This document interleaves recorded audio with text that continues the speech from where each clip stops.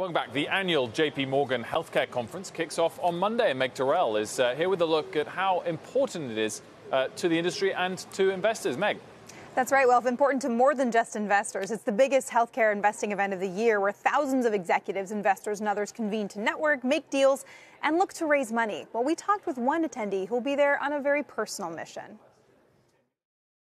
Twins Maxwell and Riley Freed came into the world together. Did you have a good sleep?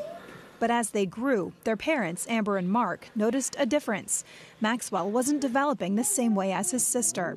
After six months of genetic testing, Maxwell was diagnosed with a rare disease. It was known by its genetic location, SLC6A1.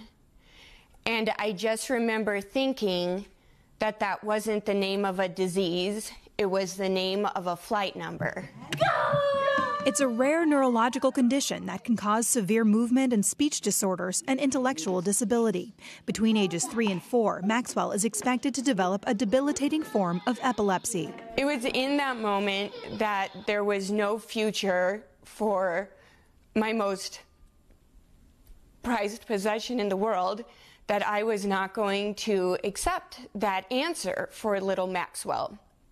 And I decided to fight like a mother. Freed started calling researchers, became an expert in the biology of the disease, founded a nonprofit, and in 10 months has raised a million dollars. She's working with a team at the University of Texas Southwestern to advance a gene replacement therapy she hopes could help Maxwell and others. She says it's ready to start clinical trials. What she still needs more funding and connections in the drug industry. So she's joining the thousands of health industry investors and executives flying to San Francisco for the JP Morgan Healthcare Conference. What these companies are doing will help the greater good. They are creating miracles for my family, for my little Maxwell Freed, and for so many generations to come.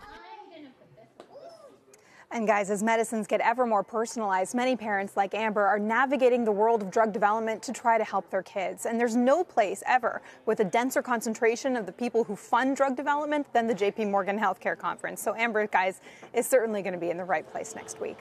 And Meg, this particular um, disability, uh, uh, genetic condition, uh, that, that, that, Maxwell has. Was it already on those executives' radar, or is the work that Amber has done uh, really raised the profile of it and given it uh, a greater hope than it had before to find a solution. Amber has really raised the profile of this disease. It was so rare, she said it didn't even have a real name, it just was named by its genetic location.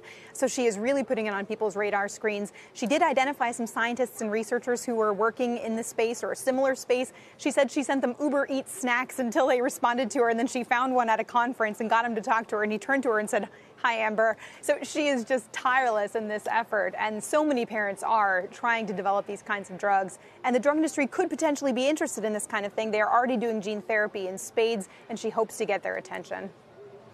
Yeah, fighting like a mother.